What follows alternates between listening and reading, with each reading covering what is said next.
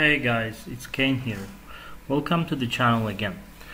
In today's video, I'm gonna talk you uh, about increment and decrement operators, which are uh, a very important part of programming, and I think you're gonna see these statements quite a lot, especially when you write uh, for loop structures in the upcoming uh, lectures.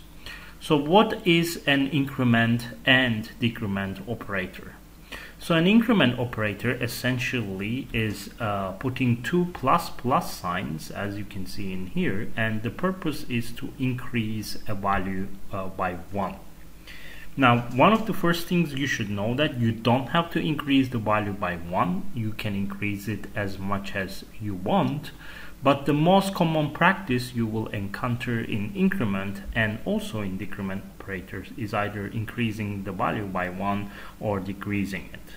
Now the way that you write this changes quite a lot. So you can say for example defining a value integer i equals to 2 and i is equals to i plus 1 or what you could do is you can write i plus plus or plus plus i and this entire operation is called increment operation. And you can do the same thing with the decrement one. So assuming that the value is i uh, minus 1 in this case and then you can write it as i minus minus or minus minus i.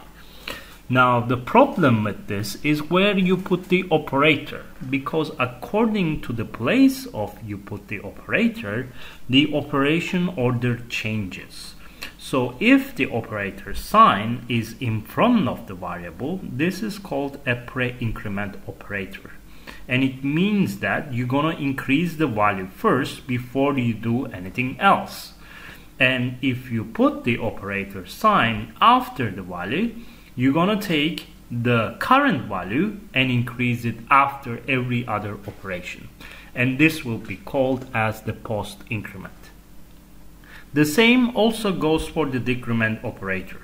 If the values that you see minus minus is after the variable, it is called a post decrement, which means you're gonna do the decrease from that specific value uh, after you deal with every other operation within that statement and you're gonna do the opposite which means you're gonna increase the value decrease the value as soon as you see it if you put the operator sign in front of the value.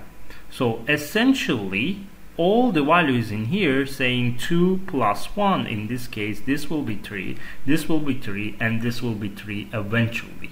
However the way that you uh, place it changes quite a lot especially when other operators come into the uh, scene so let's have a look at how this is uh, this can work so I wrote a, a specific uh, program before just to show you how this can work Assume that we have two different values, a and b, and the initial value of a is 5 and the initial value of b is 3. We're to put some increment and decrement operators here to see the outcome of it.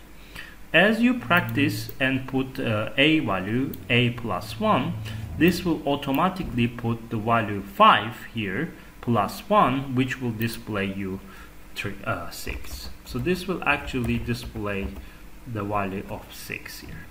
However, this value will not be permanently changing the value of a. Remember that when you put this like that, a plus 1, the value of a is still 5. So you didn't permanently change anything. If you want to change the value of a to 6, you need to initially write it as a is equals to a plus 1 and then if you print out the value of a you will see that that value permanently changes. Now afterwards when you put the pre and the post increment statements these also change the value because when you put the post increment this will show the value first and then increase it which is also regarded as the post increment and this will actually increase the value first and then show it. In this case, if the value of a is 6, it will first show the value. So when you come here, you will see 6 and 6 as well. However, after this operation, the value of a will be 7. So it means that when you go to the next line, which is increase the value first and show it, it will immediately increase the value, which was 7, now it's going to be 8, and then it will display it. So this will be something like 6, 6, 6, and 8. And it will show that uh, on the screen. So let's just put everything else into comments and try to run it. Once again, before I run it, the value of a is 5, a plus 1, 6, and because this is not a permanent equation the a value is still 5 here.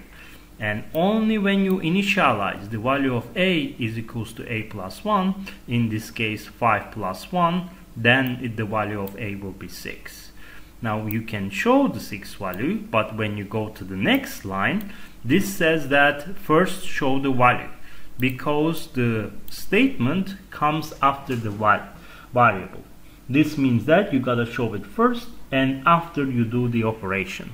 In this case, in the previous statement, the value of a was 6 and here you will display 6. Although after this line the value will be 7. And when you come here, when you say plus plus a, because the previous value of a was 7, now it's going to be increasing by 1 automatically and the value will be 8. So when we run this application, you can see that the values are 6, 6, 6, and 8. Now let's go and do the rest of the statement. When you see the value of b now, initially this was 3, and if you want to subtract the value, b minus 1, then you can initialize to 2. But unless you specifically state this, which is b is equals to b minus 1, it will actually never change the value of b because there is no initialization in here. So once you have done the initial statement, equalize this equation to the assign it to the value of b, then you can display the value as 2. Now when you put minus minus, this will automatically decrease the value by 1 then show it so this was 2 so in here it will decrease it immediately by 1 make it 1 and display 1 again. However when you go to the next line the value is regarded as 1 so you will display 1 but then after displaying it you will show the value as 0 so when you come here the value will be as 0 so this means that 2, 2, 1, 1, and 0. So let's just uh, compile it and run it to see what the outcome. So 2, 2, 1, 1, and 0.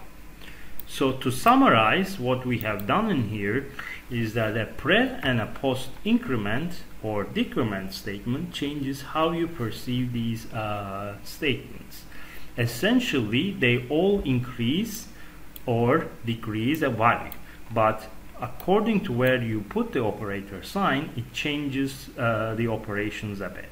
So when you put a plus 1, unless you initialize it, this value actually never changes. And when you put the operator afterwards, it will take the current value, then do the operation. And if you put it in front of the vari variable, then it will immediately do the operation and show it. And the same goes for the decrement statement. If you put the operator sign in front of the variable, it will immediately do uh, the operation and show the result. But when you put it afterwards, it will show the current value and do the operation afterwards. So this is the core of increment and decrement operators. I hope it was clear to you and I'll see you guys in the next video.